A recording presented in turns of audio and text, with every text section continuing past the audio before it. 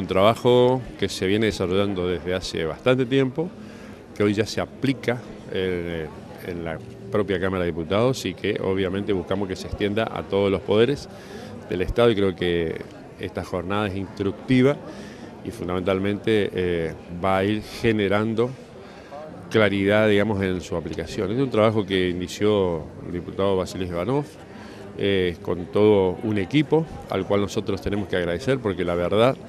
el repaso, el control, el análisis y la comparación de toda la legislación hecha desde que se provincializó nuestra eh, querida provincia del Chaco eh, es mucho el trabajo. Y la verdad que para nosotros, incluso en la tarea legislativa, significa este, un avance notorio porque al estar dividido por temas, al estar este, sintetizado en muchos casos, eh, artículos que en otras leyes eh, al mismo tiempo fueron sancionadas, pero que eh, no corresponden a su aplicación. Creo que esto en términos este, técnicos se denomina digesto, pero en términos sencillos y comunes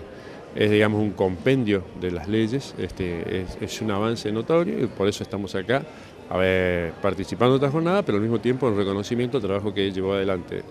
el diputado eh, Basiles Ivanov con todo un equipo de gente del Poder Legislativo, que esto también es destacable, gente de la Casa que ha trabajado muy bien y que ha trabajado en función del conjunto de los tres poderes del Estado.